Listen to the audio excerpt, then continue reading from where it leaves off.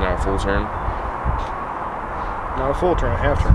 So if it's this So, way, yeah. it's got to be right over there toward that way. now. What if it's a little off? It ain't gonna be.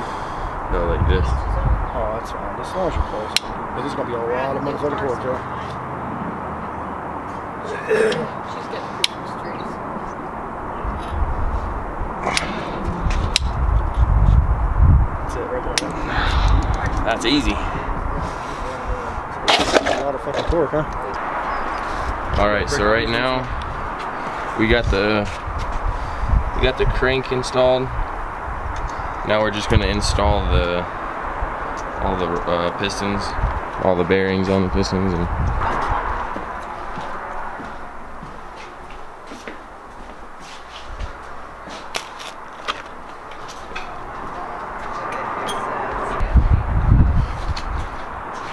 I mean, last thing it is about all the way there, all the way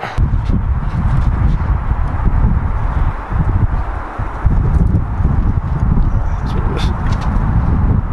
He definitely likes walking though, Calvin.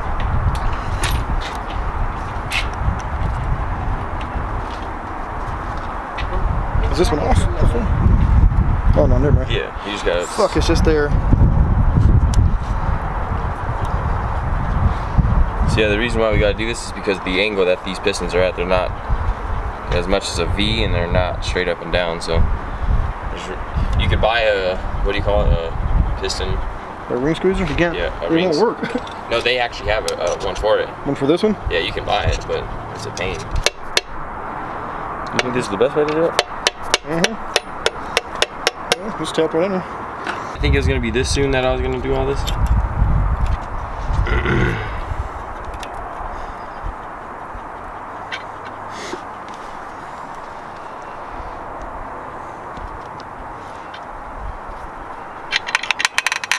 Well. Yeah, now we're just gonna need another bearing and put it all on.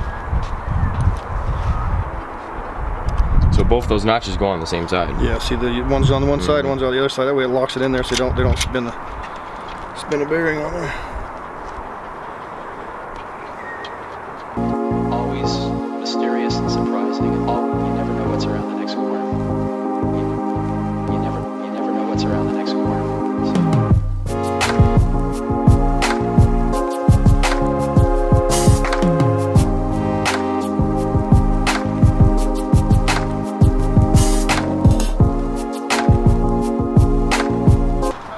Alright guys, so we got all this done. We got all the pistons in.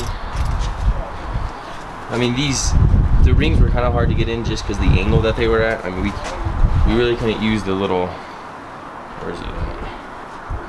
The piston compressor, it's like to compress all the pistons together. So we just did it by hand, but honestly it was, it was probably easier than using one of those.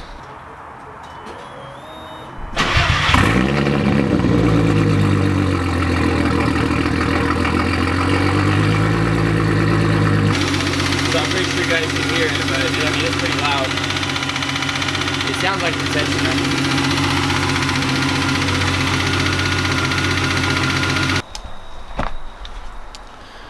Alright guys, so that's the click I've been dealing with, so it's it's gotta be something in the head. I don't think it's the bottom end at all. But um yeah. The new internals and the new motor, hopefully I get my head back. Um hopefully by Monday. He's supposed to be done about two weeks ago, but yeah, hopefully get that all get that all on. Um, I'm probably gonna end up taking the motor out tonight. I'm not too sure. I mean, it should be pretty easy, but we'll we'll see with that. But yeah, I'm probably gonna end up taking all this out. So by the time Monday rolls around, we should just be able to slap the head on and we should be done.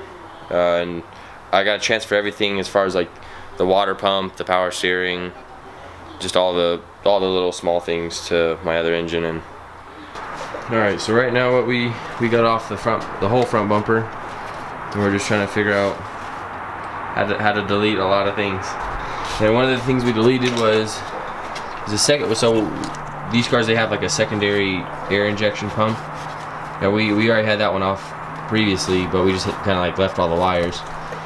So we deleted all that which is a little can right there, and a bunch of wires. So that that's going to delete a lot on the front. And we're thinking about deleting this hose right here. It's basically a secondary, Cooling system over yeah, like water cooling system. So it, it runs all the way over there to that little radiator over here. And it runs all the way back right here and plugs right back into it. So just take this one run it right back into this one, yeah. yeah, or we'll just cap it from here and then Cap cap that one. So, but yeah, we should have the motor out in probably an hour or two, Yep. and we'll probably start taking all the pieces off, like the power steering, the AC, and the alternator. So, hey, if you guys don't know who this is, this is my dad. He'll be, he'll be here to help do all the work. do all the work. The faux show. All right.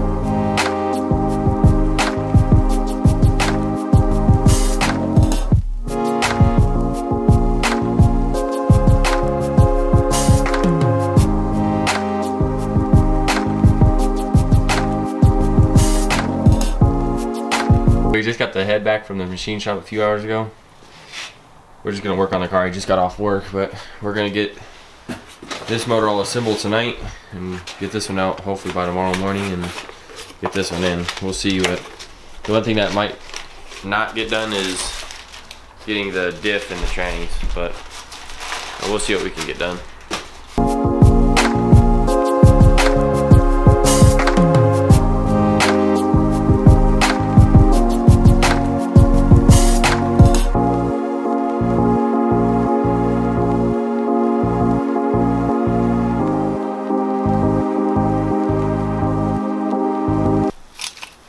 And with the head, um, we're gonna tighten it down as like a, a pattern. So we're gonna start with the middle ones, and then we're just gonna work our way out on the outside ones.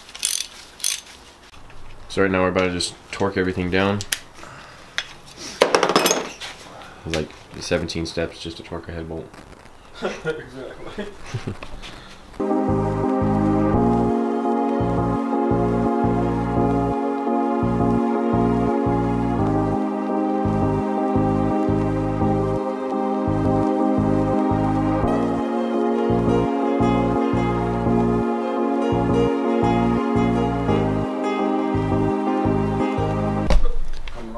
All right, so right now we're just putting in the lifters. We're just gonna lube them up even more, I guess, yeah, for sure, for sure. because we don't want that first dry start. Yeah. Oh shit. We don't want my glove in there either. Instead, yeah. But yeah, so one one cam's actually shorter.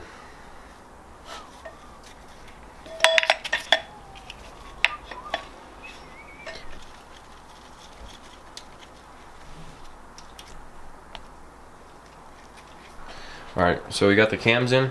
Got all these torqued down to spec. Uh, there's actually a little plate. There's. Is this just for the VR6? Yeah, just for the VR6. yeah. But yeah, there's actually little notches in the cams where they slide in so everything stays straight, and there's only one way you can put it on. So we we got those cam gears all tightened up. We're about to flip it around, put on the oil, brand new oil pump, because I don't want to run, run the old one and take a chance. And put the oil pan on, and we'll probably have to take the motor off to put on the the timing chain gears and tensioners and stuff.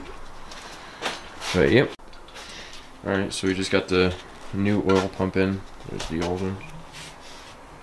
Just did, I I'm pretty sure that one was fine. I Just didn't want to take any chances with it. Get that one all bolted up. Got a gasket on this side. And we're probably gonna put the oil pan on next, right? We gotta the get these front. timing chain tester. I mean, we need the back one on too to put the. Yeah. What's up, YouTube? Uh, we're back here with part two of the the VR6 build. Uh, right now, what we have done is basically assembled the entire motor. we started a little late on recording, but um, let me go. But yeah, this one's all assembled. This is the fully built one with a we put a stage three clutch back on it because it has like a what is it a 17 pound Yeah. it's like a 17 pound pressure plate because the last one the the rivets broke on it because that money shifted. But right now we're just so the motor's basically ready to go back in, but we figured we try to get the diff in so we don't have to take the tranny back out and we can get both tires hooking. But yeah, so everything on this one's all cleaned up and basically ready to go in and get started. So.